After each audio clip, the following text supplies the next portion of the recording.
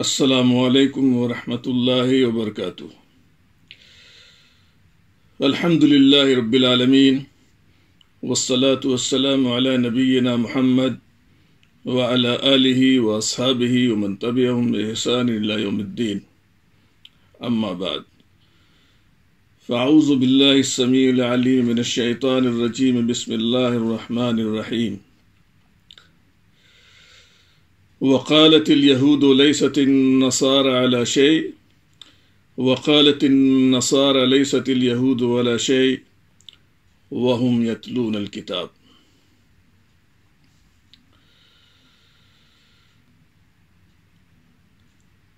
मोहतरम नाजरीन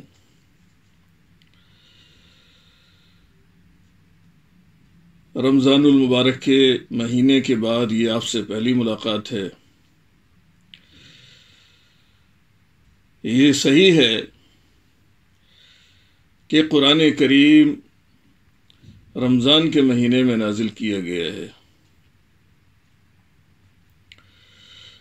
और इसी वजह से हमने रमज़ान के महीने में कुरान करीम की तिलावत का अहतमाम किया और किसी न किसी हैसियत से अपने घरों पर ही सही तरावी के अंदर और दीगर नमाजों में कुरान के सुनने, सुनाने का अहतमाम किया। लेकिन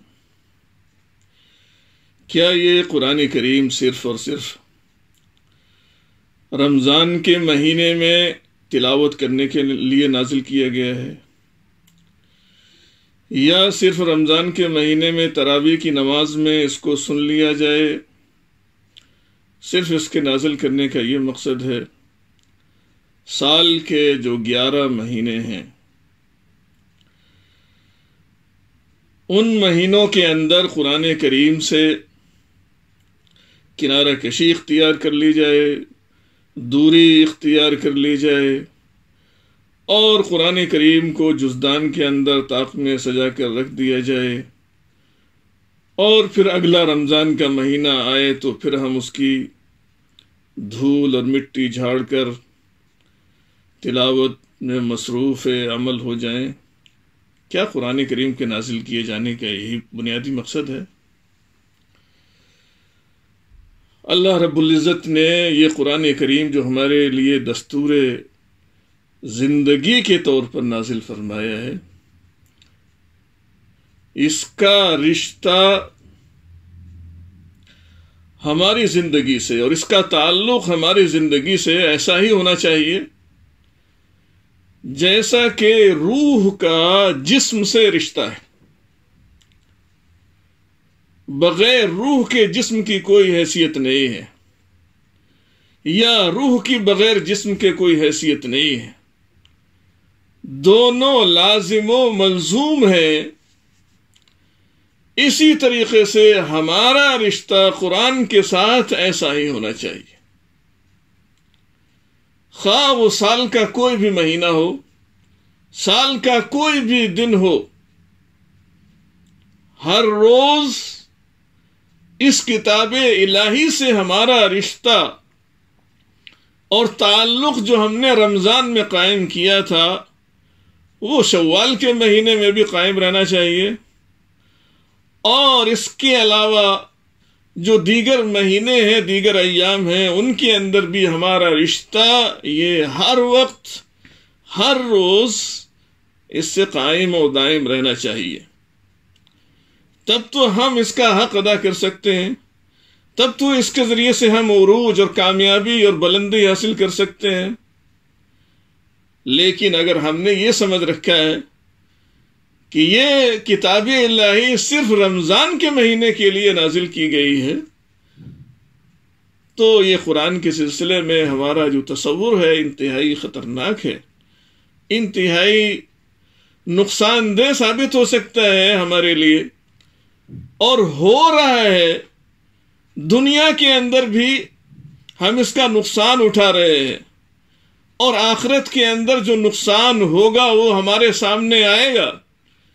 जैसा कि अल्लाह के रसूल सल्लल्लाहु अलैहि वसल्लम की जो शिकायत, जो शिकवा अल्लाह ने कुरान पाक में नकल नकल किया है, वो शिकायत अल्लाह के रसूल सल्लल्लाहु अलैहि वसल्लम हमारे और आपके खिलाफ अल्लाह रब्बुल इज़्ज़त की बारगाह हमें पेश फरमाएँगे कि ये हमारी उम्मत के वो अफराद हैं जिनको दस्तूर ज़िंदगी दिया गया था, लेकिन इन्होंने उस दस्तूर ज़िंदगी को समझने की कोशिश नहीं की। और हैरत की बात यह है दुनिया में जितने भी कानून की किताबें हैं, जिस कदर भी किसी मुल्क का दस्तूर है, कानून है, बल्कि शायद ही कोई ऐसी किताब हो कि लोग उसको पढ़ते हो और उसको समझते ना हो या समझने की उसको कोशिश न करते हो। तो ये बात हमारी कुरानी तालीमत के अल्लाह ताला की जानब से जो हिदायत इस किताब के ताल्लुक से दी गई हैं, उन हिदायत के हिसाब से भी गलत है। अल्लाह के रसूल सल्लल्लाहु अलैहि वसल्लम की अमली ज़िंदगी भी हमारी इस फ़िक्र का साथ नहीं देती है। और जो अव्वलीन मुखातब थे इस किताब के साहब कराम उनकी ज़िंदगी भी हमारी इस फ़िक्र का साथ नहीं देती है कि यह किताब सिर्फ़ तिलावत के लिए नाजिल की गई। और सिर्फ़ रमज़ान के महीने में तिलावत की जाए, बस इससे आगे हमें नहीं बढ़ना है। क्या कोई ऐसा सब्जेक्ट, कोई मजमून? आप जानते हैं कि जिसे सिर्फ़ पढ़ा जाए और उसको समझा ना जाए, ये इतनी अहम तरीन किताब अल्लाह ताला ने, नाजिल फरमाई है। ये हमारा मनहज ज़िंदगी है, दस्तूर हयात है ये।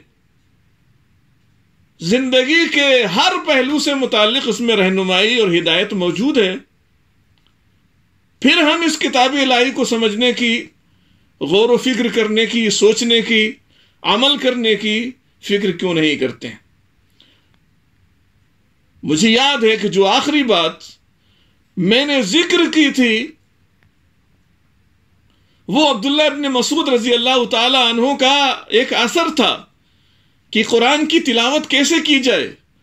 उन्होंने इस उम्मत के लोगों की रहनुमाई फरमाई है कि किताब की तिलावत कैसे की जानी चाहिए? यह कोई शेर व शायरी की किताब नहीं है कि आप शेर व शायरी की तरह से इसको तेज़ी से पढ़ के गुजर जाए और मसला खत्म हो जाए। नहीं, बल्कि ठहर ठहर के पढ़ने की किताब है, समझ के पढ़ने की किताब है। अमल करके इसके इस पर दिखाना है इसलिए नाजिल की गई। और सारी इंसानियत तक इस किताब इलाही का जो पैगाम है, वो हमको पहुंचाना है, इसलिए किताब नाजिल की गई। और मैंने आखिर में, आखिरी मुलाकात में मौलाना अबुल कलाम आज़ाद का एक इकतबास आपके सामने रखा था। और उसके खुलासे के तौर पर अगर मैं कहूँ तो मौलाना ने यह कहा था कि अगर तुम कुरान को पालो तो तुम्हारी हर शब शब कद्र हो सकती है। जिस रात में ये किताब नाजिल की अल्लाह ताला ने, उसको शब कद्र करार दिया गया। क्यों? इसलिए कि इतनी अजीम अल्लाह ताला ने अपनी आखिरी किताब नाजिल फरमाई है। इसकी वजह से उस रात की फजीलत इतनी ज़्यादा हो गई कि हम रमज़ान के आखिरी आखिरी अशरे में उसको तलाश करते हैं। हमारी ज़िंदगी भर की इबादत से अफजल इबादत उस रात में करार दी गई है। लिहाजा ज़रूरत है इस बात की कि हम रमज़ान के बाद भी इस किताब इलाही से अपना रिश्ता मज़बूत रखें। और ख़ास तौर से लॉकडाउन के अयाम में जो हमें वक्त मिला है, जो फुर्सत मिली है, मेरे सामने इस वक्त भी अब्दुल्ला इब्ने मसूद रज़ी अल्लाह तही का एक असर है। और ये असर सही बुखारी के अंदर भी है, सही मुस्लिम के अंदर भी है। और अहादीस की दीगर किताबों में मौजूद है। इस असर के अंदर भी अब्दुल्ला इबन मसूद रज़ी अल्लाह तु ने यही पैगाम दिया है इस उम्मत के लोगों को कि आप कुरान पढ़ें, उसकी तिलावत करें तो आप इस बात का ख्याल रखें कि अल्लाह रब्बुल इज़्ज़त आपसे मुखातिब है। कुरान आपसे मुखातिब है। और हर खिताब का मकसूद यह होता है कि सामने वाला क्या कह रहा है, उसको समझा जाए और समझने के बाद उस पर अमल किया जाए अगर वो कोई हिदायत देता है अमल करने के लिए। आइए, बास शारहीन हदीस ने सही मुस्लिम में ये इस असर को ज़िक्र करने के साथ ये बाब कायम किया है। बाबो तरतील क़रात वस्तनाबिल हदयन। कुरान की किरात ठहर ठहर के की जानी चाहिए और उजलत और जल्दबाजी से इज्तनाब किया जाना चाहिए इसकी तिलावत के वक्त भी। लेकिन अफसोस की बात यह है कि हम और आप और बहुत सारे ऐसे अफराद हैं, ऐसे कुर्रा हैं अल्लाह ताला उनको हिदायत अता फरमाए।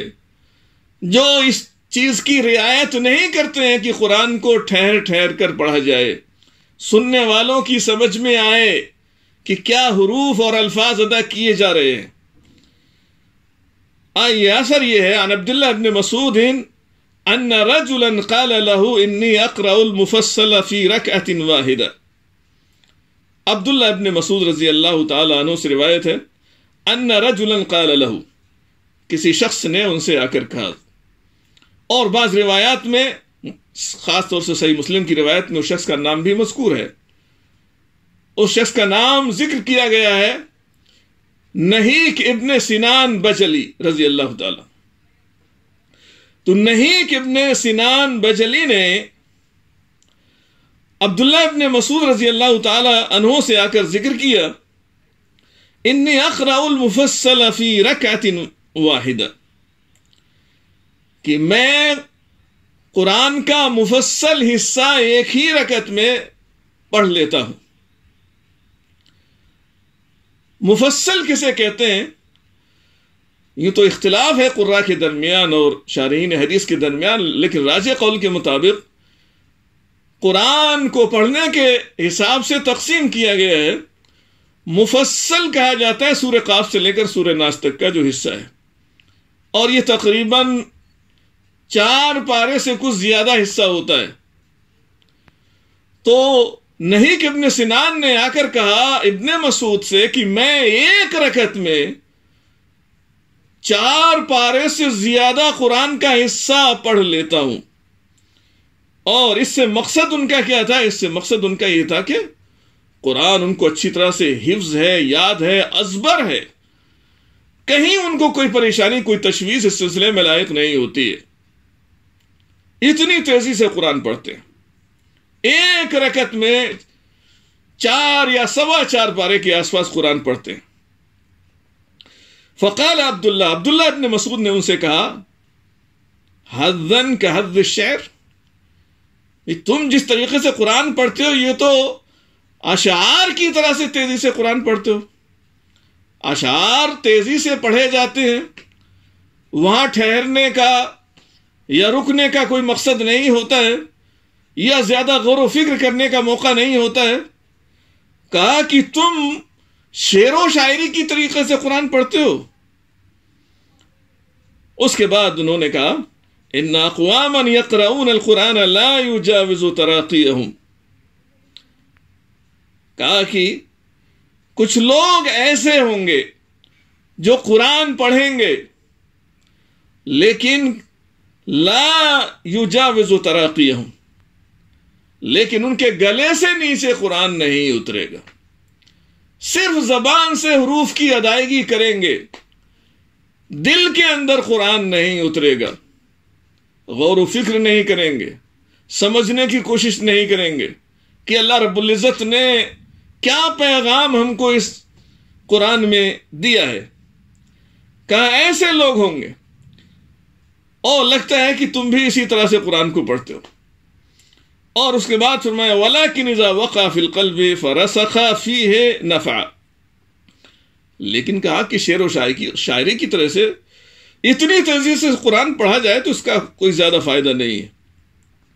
लेकिन कहा कि अगर दिल में कुरान पेवस्त हो जाए, दिल की गहराइयों में उतर जाए और रासिक हो जाए तो फिर कुरान का फ़ायदा होता है। कुरान हमारे लिए मुफीद और कारामद साबित हो सकता है। ये नसीहत फरमाई है अब्दुल्ला इबन मसूद रज़ी अल्लाह तु ने, नहीक इब्न सिनान बजली को। तो इससे मालूम हुआ कि सहाबा किस तरीके से कुरान को पढ़ते थे और उनके जो शागिर्द थे, उनको भी इसी तरीके से कुरान पढ़ने की तलकीन किया करते थे, वाजो नसीहत किया करते थे।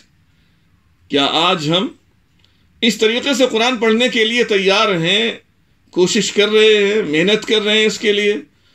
हमारी तवज्जो है इस जानब। लेकिन अफसोस की बात यह है कि मुसलमानों की अक्सरियत गफलत में मुबतला है। रमज़ान से आगे कुरान की जानब देखने के लिए तैयार नहीं है। ये अफसोस की बात है। आइए, एक और असर मेरे सामने। मशहूर साहबी हैं अब्दुल्ला इब्न अब्बास रज़ी अल्लाह तहु और अल्लाह के रसूल सल्लल्लाहु अलैहि वसल्लम के बाद अगर ये कहा जाए कि कुरान के और कुरान की तफसीर के इस उम्मत में सबसे बड़े आलिम है तो ये मुबालगा नहीं है। बल्कि अल्लाह के रसूल सल्लल्लाहु अलैहि वसल्लम की दुआ इनके सिलसिले में मौजूद है और ये शहादत दीगर साहबा ने भी दिए अब्दुल्ला इब्ने अब्बास रज़ी अल्लाह तु का असर ज़िक्र किया है। मशहूर मुहदस है शोबा इब्न हज्जाज। कहते हैं, अन्ना अबा हमजा तकाल अब्बास। अबू हमजा ने इब्न अब्बास रज़ी अल्लाह तु से कहा इन्नी रजुल सरीउल किरात मैं एक ऐसा शख्स हूँ जो तेज़ी से कुरान पढ़ता हूँ। वरुबमा करातुल कुरान फ़ी लैलतिन मर्रतन और मर्रतैन। और कहा, इस कदर तेज रफ्तारी से या बर्क रफ्तारी कही है इसको, इस कदर बर्क रफ्तारी से मैं कुरान पढ़ता हूँ। कि एक रात में एक दफ़ा पूरा कुरान पढ़ लेता हूँ। ओ मर्रथेने या पूरा कुरान एक रात में दो दफ़ा पढ़ लेता हूँ। इस कदर तेज़ी से कुरान में पढ़ता हूँ। फ़काल अबन अब्बास तो इब्न अब्बास रज़ी अल्लाह ने उनसे कहा, लान अकरा सूरतन वाहिदतन अहब मिन अन अफअल ज़ालिक लजी तफलू उनको समझाया, कहा कि यह तरीका कुरान के साथ तुम्हारा सही नहीं है। कहा कि मैं कुरान की एक सूरत पूरी रात के अंदर पढ़ूं। ये मेरे नज़दीक महबूब है, पसंदीदा अमल है, इस बात से कि मैं वो काम करूँ जो तुम कर रहे हो, कि एक ही रात में पूरा कुरान खत्म कर दूँ। एक रात में दो दफ़ा दो दफ़ा पूरा कुरान पढ़ लूँ। मेरे नज़दीक ये अमल पसंदीदा रही है। उसके बाद कहा, फ़ैन कुन तफ़ाइलन वला बुद्ध, अगर तुम्हें ज़्यादा पढ़ने का शौक ही है, ज़्यादा से ज़्यादा कुरान पढ़ना चाहते हो, तिलावत करना चाहते हो, फ़करा किरातन तुस्मे उजनई का तो इस तरीके से कुरान को पढ़ो कि तुम अपने दोनों कानों को सुनाओ। जो कुछ पढ़ रहे हो, तुम्हारे कान सुने उसको। वह यही है कल्ब का। और तुम्हारा दिल जो कुछ पढ़ रहे हो, उसको समझे भी। अगर तुम्हें कुरान पढ़ना है तो इसी तरीके से कुरान पढ़ने की कोशिश करो। इतनी तेज़ी से कुरान पढ़ने की हाजत ज़रूरत नहीं है। और अल्लाह के रसूल सल्लल्लाहु अलैहि वसल्लम की हिदायत भी सिलसिले में मौजूद है। अल्लाह के रसूल की हदीस है, ला यफ़ मन कर फ़ी अकल्लासिन जिस शख्स ने तीन दिन से कम मुद्दत में कुरान ख़त्म किया, उसने कुरान को नहीं समझा। कुरान नहीं समझ सकते हैं आप। इसका मतलब यह कि कुरान सिर्फ़ तिलावत के लिए अल्लाह ताला ने नाजिल नहीं किया है। कुरान का जो असल मकसूद है, वो उसको समझना है। अगर समझ में नहीं आता है तो फिर हमें ज़्यादा फ़ायदा उसका हासिल नहीं होगा। ये आसार थे सहाबा के।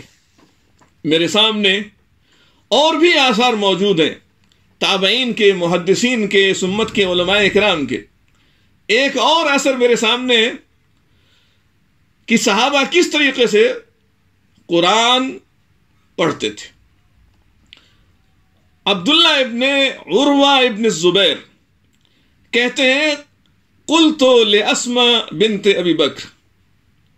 कहते हैं कि मैंने असमा बिनते अभी बकर से कहा, ये उनकी दादी है। तो अब्दुल्ला इबन उर्वा कहते हैं कि मैंने अपनी दादी से पूछा, कहा कई फ़ान असहाब रसूल अलैहि वसल्लम? इज़ा कुरान कहा कि अल्लाह के रसूल के जो सहाबा हैं, जब वो कुरान की तिलावत सुनते थे तो उनकी हालत, उनकी कैफियत क्या हुआ करती थी? कालत, कानू कमा नातहमुल्लाह। कहा कि उनकी हालत और कैफियत ऐसी हुआ करती थी, जिस तरीके से अल्लाह रब्बुल इज़्ज़त ने उनकी सिफत बयान की है। और मैं इससे पहले ये सिफत ज़िक्र कर चुका हूँ। क्या कैफियत होती थी? कुरान को सुनने के वक्त तदमाओ आयुन व तकशर कुलूब उनकी आँखों से आँसू जारी हो जाया करते थे। जहाँ कहीं जहन्नम का ज़िक्र होता था, उसकी सजाओं का ज़िक्र होता था, आँसू बहने लगते थे। वो तकशर कुलूब उनके दिल लरज उठते थे, काँप उठते थे। ये कैफियत हर कुरान सुनने वाले की होनी चाहिए, पढ़ने वाले की ये कैफियत होनी चाहिए। कि कुरान पढ़ने का और सुनने का उसके जिस्म पर भी असर होना चाहिए। दिल पर भी इसका असर होना चाहिए। यह असर कब होगा? हमारे और आपके दिल पर ऐसा असर क्यों नहीं होता? उसकी वजह सिर्फ़ और सिर्फ़ यह है कि हम समझते ही नहीं है। किताब इलाही में अल्लाह ताला क्या फरमा रहा है, हम नहीं जानते। हमें मालूम ही नहीं। आइए, एक और असर मेरे मेरे सामने है। और ये मोहम्मद इब्ने काब अल कुरजी है जो मशहूर मुहदस हैं जलील कद्र ताबई हैं आइए क्या कहते हैं काला मोहम्मद इब्न काब अल कुरजी लान अकरा इजा जुलजिलत अर्ज़ जिलजालहा वल कारिअत उरद्दिदुहुमा व अतफक्करु फीहिमा अहब्बु इलैया मिन अन अबीता अहुज्जल कुरआन मोहम्मद इब्न काब कुरजी ताबई कहते हैं, लान अकरा इजा जुलजिलत अर्ज़ जिलजाला. कि मैं सूर जिलजाल पढ़ूं और सूर अलकारिया पढ़ूं, ये दो छोटी छोटी सूरतों में से शुमार होती हैं। एक में आठ आयते हैं और दूसरी में ग्यारह आयते कहा उरद्दिद मैं इन दोनों सूरतों को बार बार दोहराता रहूँ। और इन दोनों सूरतों में जो बातें बयान की गई हैं, मैं गौर फ़िक्र करता रहूँ। अहब इलैया, मेरे नज़दीक ही ज़्यादा महबूब है इस बात से कि मैं सारी रात कुरान तेज़ी से पढ़ता रहूँ। सिर्फ़ तिलावत के लिए, ये दो सूरतें पूरी रात के लिए मेरे लिए काफ़ी है। किस लिए? कि मैं ये देखूँ कि अल्लाह रब्बुल इज़्ज़त इसमें क्या फरमा रहा है। इन दोनों सूरतों का पैगाम क्या है? क्या बात इन दोनों सूरतों में बयान की गई है? रात भर मैं इसी सिलसिले में गौर व फ़िक्र करता रहूँ, ये मेरे नज़दीक ज़्यादा पसंदीदा अमल है, बजाय इसके कि मैं पूरा कुरान तेज़ी से पढ़ के ख़त्म कर दूँ।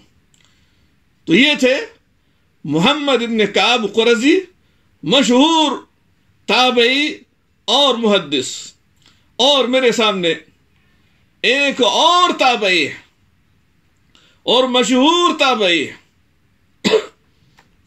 मुसलमानों की जो आजकल हालत और कैफियत है कुरान के ताल्लुक से, या रमज़ान में हमें देखने को जो नज़र आती है थोड़ी बहुत, उस कैफियत को हसन बसरी रहमतुल्लाह अलैह ने अपने ज़माने में महसूस किया था। उनके ज़माने में भी ऐसे लोग मौजूद थे जो आजकल मौजूद हैं कुरान को सिर्फ़ रमज़ान में देखते हैं रमज़ान में उठाते हैं रमज़ान में सिर्फ़ तिलावत करते हैं बस। इससे आगे, आगे बढ़ने की कोशिश नहीं करते हैं। हसन बसरी रहमतुल्लाह अलैह के ज़माने में भी ऐसे लोग मौजूद थे। कहते हैं नजल कुरान ले युतदब्बरा व युमल बिही अल्लाह ने ये कुरान नाजिल फरमाया है मकसद क्या है नजूल का ले यू युतदब्बरा ताकि इसकी आयत में गौर फ़िक्र किया जाए व युमल बिही और इस पर अमल किया जाए फतखजू तिलावत अमलन लेकिन लोगों ने क्या किया है इस किताब के साथ ये जुल्म किया है नाइंसाफी है इस उम्मत के अफराद की इस किताब इलाही के साथ। क्या किया? कहते हैं फतखजू तिलावत अमलन। इस उम्मत के लोगों ने सिर्फ़ तिलावत को अमल बना लिया है। कि तिलावत काफ़ी है, अजर सवाब मिल जाए इसके हरूफ की, इसके अल्फाज की अदायगी पर। इतना उनके लिए काफ़ी है। इससे आगे बढ़ने की कोशिश नहीं करते हैं। अपनी तिलावत ही को सब कुछ समझते हैं। आज हमारा हाल यही है।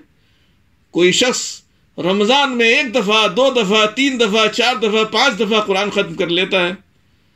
वो ये समझता है कि हमने इस किताब इलाही का हक अदा कर दिया है और इसका जो मकसूद असली है, उसको हासिल कर लिया है। माफ़ फरमाइएगा, इसका मकसूद असली तिलावत नहीं है। बल्कि मकसूद असली तक, मंजिल मकसूद तक पहुँचने का वसीला और ज़रिया तो हम कह सकते हैं।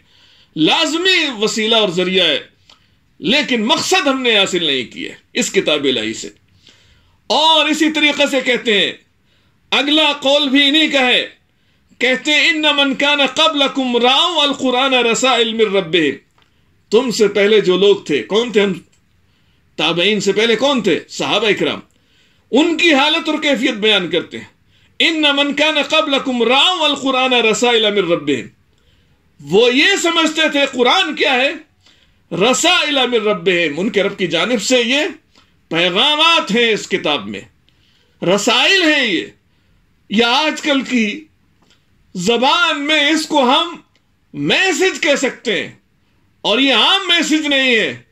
अरे गैरे नत्थु खैरे की तरफ़ से जो मैसेज आजकल व्हाट्सएप और फेसबुक में चले आते हैं और हम अपनी सारी ज़िंदगी उन मैसेजेस को पढ़ने में खपा देते हैं, लगा देते हैं, जिनमें मुफीद और कारामत कोई बात नहीं होती। है और अगर कोई मैसेज अधूरा आ जाए और कोई मैसेज समझ में ना आए तो ऐसी सूरत में हम कितनी कोशिश करते हैं कि कहीं से ये मैसेज पूरा मिल जाए।